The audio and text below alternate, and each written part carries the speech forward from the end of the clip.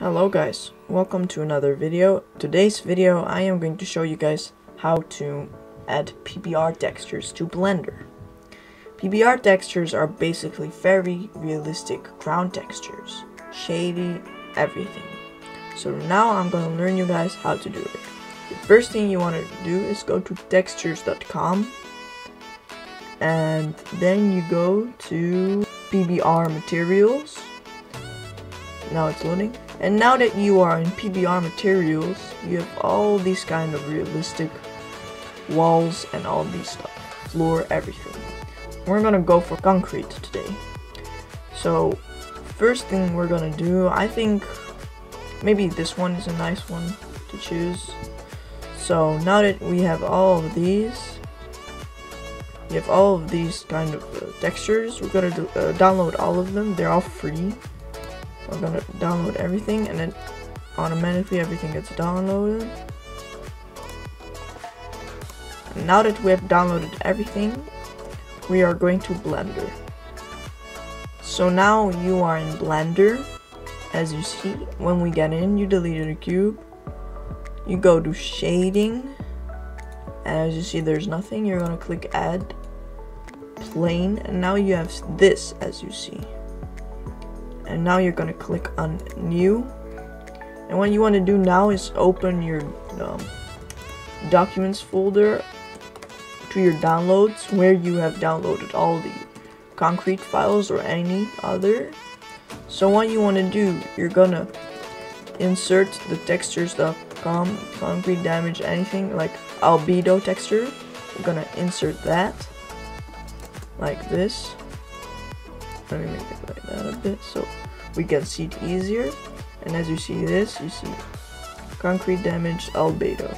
You're gonna drag the color to the base color. Now that you have added the base color you're gonna go back to your documents folder. And you're gonna click normal. You're gonna add the normal map. Do like this. And as you see now you have the normal map make sure to make it a non-color. It's very important. And before we connect it to um, the normal map we gotta add um and add a node. And this node will be called no normal map. And as you see this is what you have to insert. Now you have done that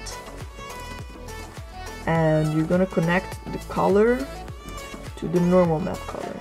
And you can increase the strength doesn't matter but we gotta connect the normal with the normal. And as you see you can always increase or decrease the strength. I did it on max.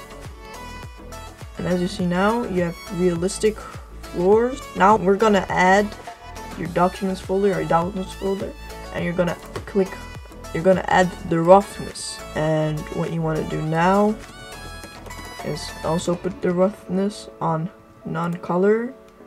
And you want to add it to the roughness.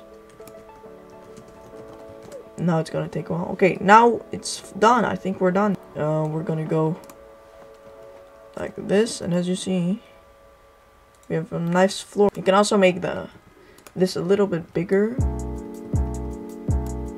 like that.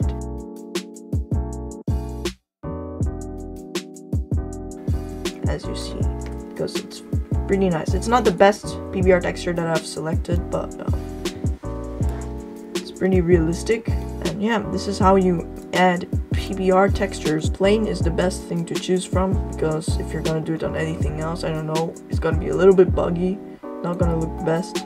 So yeah, if you have learned anything, then make sure to like and subscribe really make my day and comment down below if you if you want to what what you want to learn more about.